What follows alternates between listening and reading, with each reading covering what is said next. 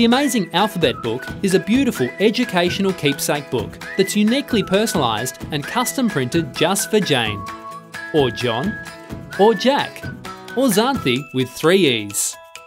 But it doesn't stop there. Simply download the free augmented reality app, hover over the book, and pop. The characters jump out of the story in 3D with music and sound effects, so kids can engage with the printed page in a truly amazing way.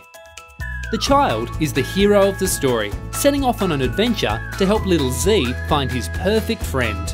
Along the way, they meet all the colourful characters of the alphabet and make a whole bunch of new friends. While it's an educational book and lots and lots of fun, it's essentially a story about friendship.